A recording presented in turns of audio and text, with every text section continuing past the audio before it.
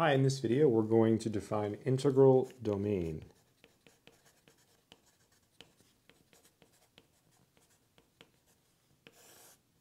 So an integral domain is basically a commutative ring under multiplication um, and it has an identity element uh, and no zero divisors. So a ring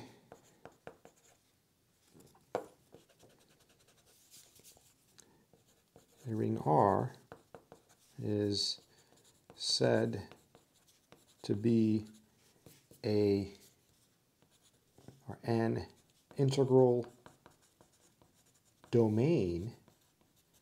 So we're going to say R is an integral domain if, and, and let's break down the conditions. So R is a commutative, commutative ring with identity. So it has to be a commutative ring with identity. And two,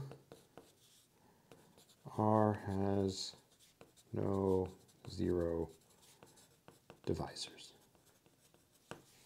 And that is the definition of an integral domain. Take care.